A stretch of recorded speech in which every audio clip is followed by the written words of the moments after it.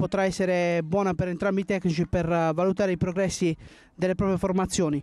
La partita ha avuto inizio in questo momento con il primo pallone a disposizione della Nick Bari, avanti a sé cercato Zaccaria, fermato anche lui.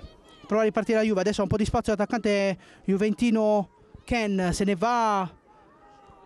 Ken tutto solo, entra in area rigore, Ken prova a mettere al centro, attenzione, la palla verso Gertù che a porta vuota deposita in rete, quindi quando siamo giunti al quarto minuto del primo tempo la Juve sblocca il risultato con Gertù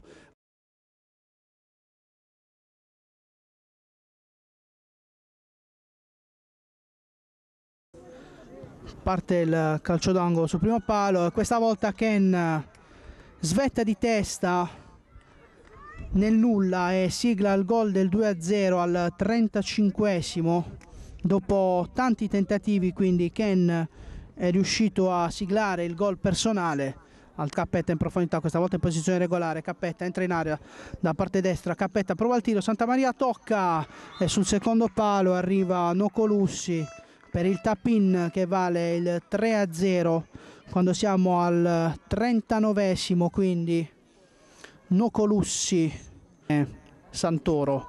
Serve in avanti il suo compagno Galasso che prova a lanciare Nocolussi. Interviene in difesa Nick Bari recupera però D'Agostino che allarga a destra con il solito cappetta. Prova la botta e c'è il gol ancora il gol della Juventus con Cappetta al 44esimo quindi Cappetta porta a 4 le reti della Juventus.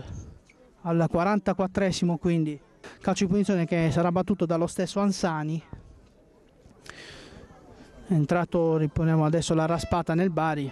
Si attende il fischio del direttore di gara per uh, il calcio di punizione Ansani di destro, posizione della barriera della Juve che si compone di quattro uomini, parte Ansani a scavalcare la barriera deviata e c'è il gol, il gol della bandiera del Nick Bari proprio al cinquantesimo con eh, Ansani che ha trovato sul calcio di punizione il gol del 4 a 1 quando l'arbitro e in questo momento arriva il triplice fischio fra Juventus e Bari finisce 4 a 1